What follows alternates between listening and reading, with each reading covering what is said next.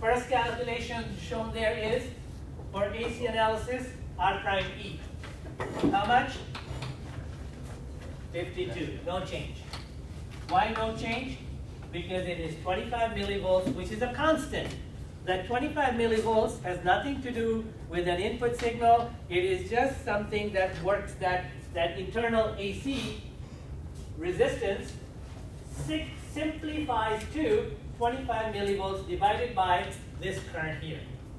So 25 millivolts divided by IE is R prime E. Okay? So that's 52 ohms. Let's find AV now. What is AV? I go to page 3. Go to page 3. Page 3,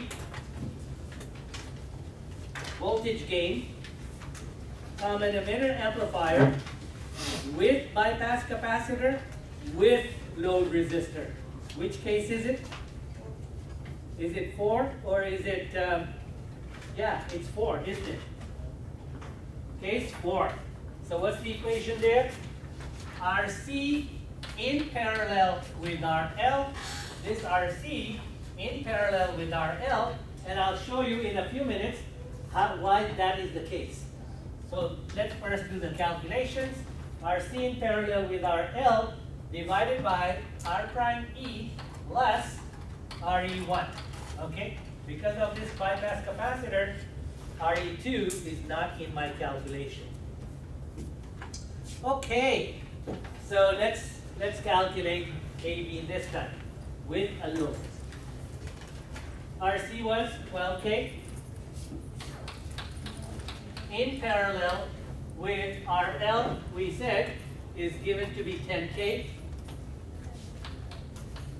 divided by 52 less 100.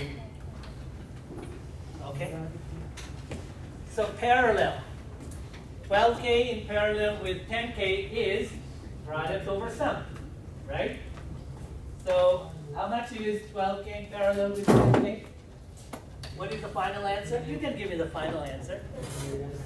30, 36, 36 is my gain. So previously the gain was 79, okay?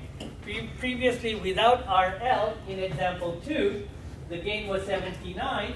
Now it has dropped a little from 79 to 36. Did anybody not get 36? Anybody dispute that answer? Okay, we'll use the value of 36 then. Okay, so now let's calculate V out. V out is AV times V in. AV, which is the gain, is V out over V in, and that's how we find V out. So that's 36 times 50 millivolts, which is how much? 1.8 volts peak. Okay, 50 millivolts is peak, so V out is peak. 1.8 volts peak. So now I draw my two graphs. Before and after C out. Before C out, after C out.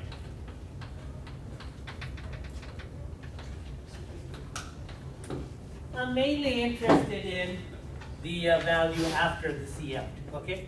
Not really before C out. Before C out is just learning about what is happening to that voltage in the circuit. Okay, show the zero.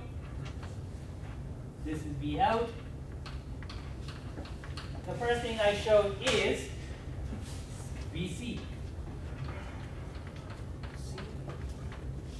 which is the same VC I used there, which is 9.2 volts. But this time, the signal is 1.8 volts. So I'll show it a little smaller.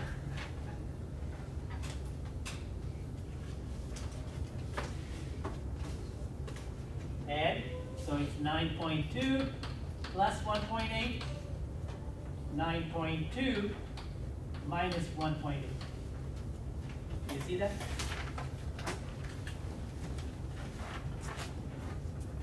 And that's at the collector, okay? This is at the collector.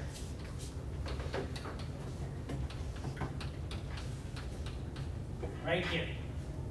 If I measure the voltage there on a scope, that's what I would see. I would see something like this. It would be with a DC offset. After C out, here, because of the capacitor, the DC is blocked, and all I see is the AC part.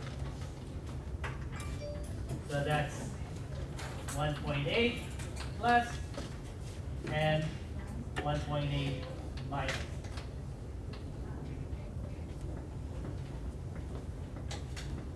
Okay? So, we're going to add an example 4 at the bottom of page 30. So, example 4, bottom of page 13.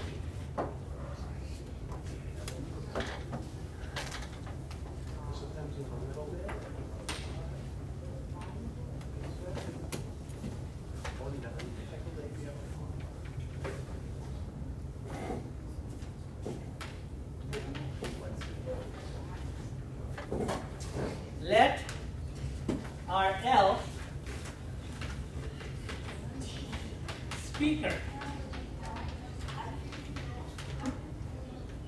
Let RL a speaker. Here. How much was RL over here?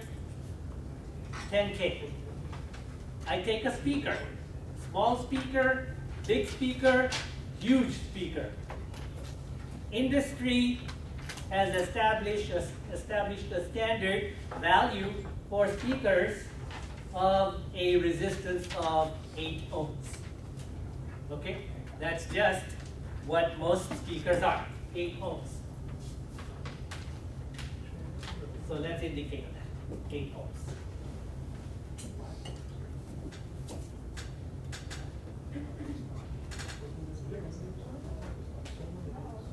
Okay, so let's calculate.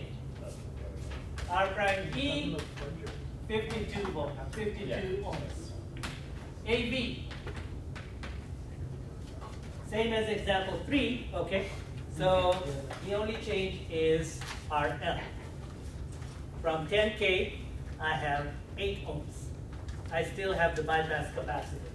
So I use the same equation, RC in parallel with RL, R prime E plus RE1.